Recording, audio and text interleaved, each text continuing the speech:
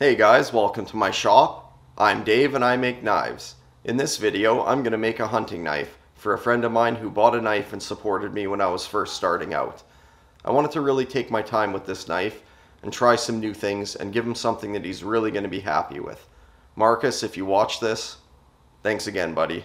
The blade is 7 inches long and it's made from 1095 high carbon steel. It's got a saber ground bevel with a swedge on the spine of the blade. And this is my first ever Hamon, which I don't mind saying turned out to be pretty amazing. This is also my first ever hidden tang with a fitted guard made from brass. And this wood is also a first for me, made from wenge or wenge. I've heard a couple different pronunciations for it. Anyway, yeah, here it is. Guys, I'm really excited to finally have another video up, and I thank all of you who have been patiently waiting. Let's get to work.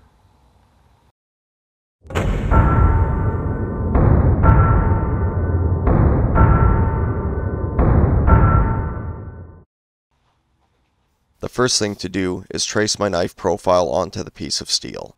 Once it's traced out, I'm going to cut it out on the bandsaw, take it over to the belt grinder, and then use some files to clean up the profile. You'll see me scribe some reference lines. I'm going to use those when grinding the bevel and the swedge, and also to know where the center of the edge will be. I'll rough grind the bevel and swedge using a 36 grit ceramic belt, and this is only the rough grind, so I'll leave the blade pretty thick before heat treatment, over 1mm at the edge. This is to help prevent cracking of the blade during the quench. I'll see you guys after I'm done grinding this bevel.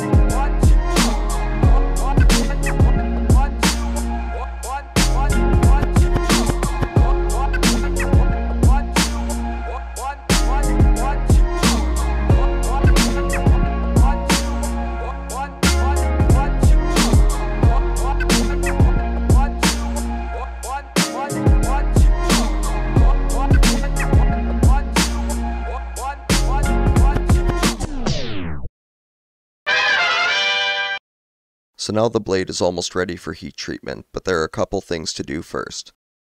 Right now I am marking the handle pin holes, then I'll center punch them, then drill them. I always start out my holes using a center drill first, because it doesn't flex like a regular drill bit. This makes the hole placement more accurate. After the center drill, I will then follow up with a regular bit, usually 1 8 inch, and then step up the size of the drill bit as needed. Next I will mark the spine for my file work. Once I have my markings, I will start out with a triangular file to get my notches started, and then follow up with a round file. Now we'll prepare the blade for the hamon. The blade has been put through two normalizing cycles before this step, which I'll show footage for coming up. What you see in that jar is Rutland's fiberglass cement. I saw this used in another YouTube video, and I wish I could remember where I saw it so I can give him credit. Anyway, I figured I would do a better job applying this stuff than clay, which is the traditional method. The wire is to help hold the cement on so it doesn't break apart during the heat treat. I put an even layer on the parts of the blade that I didn't want to harden. Now the blade is ready for heat treatment.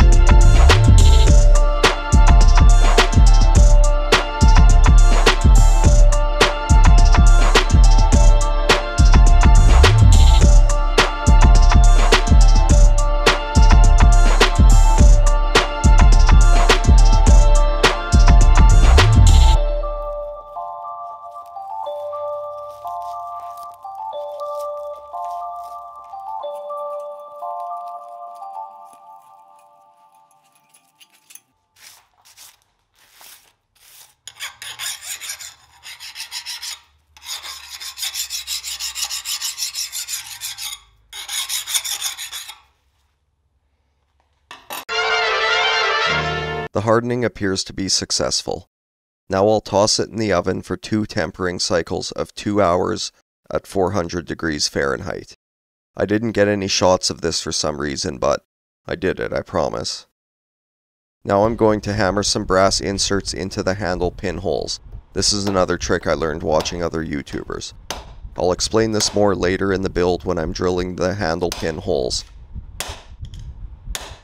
I actually bent the tang a little bit doing this, but it was no big deal, and I was able to fix it up on the belt grinder.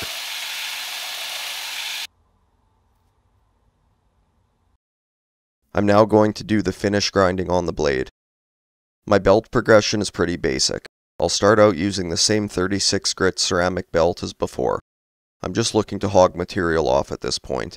When grinding, I'll be checking the thickness of my edge, and once it gets near where I want, I'll switch to the Norax X100 ceramic belt, 150 grit. Then I'll move over to the Norax X65 belt, which is 220 grit. That's as far as I'll go on the blade in this video. The rest will be spent working on the handle. I'll be cutting out and shaping the guard and guard spacer, and I'll do some rough shaping of the handle. Let's do it.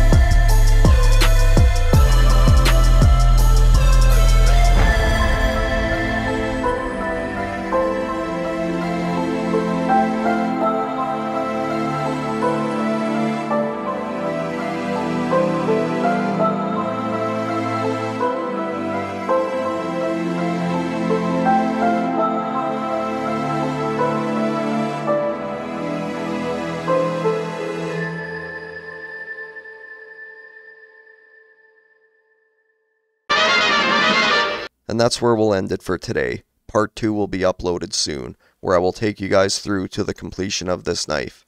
If you like this video, please consider subscribing and clicking the like button, which helps a new channel like mine big time. I want to thank all of you guys who have shown me the love in the comments.